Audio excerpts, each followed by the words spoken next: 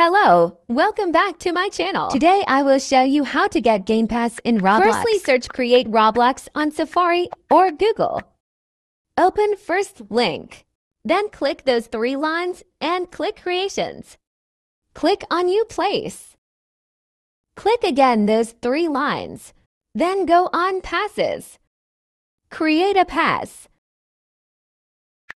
Write any name and any description. For example, I wrote thanks for donating.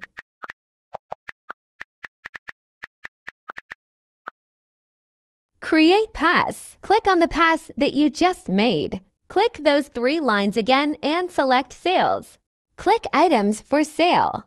And if you price it for 4 Robux, then you will get half of it because Roblox take half. Same changes. And done.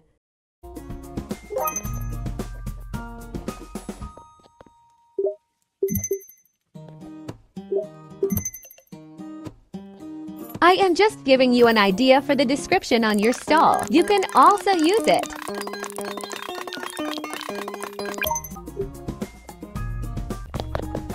Bye!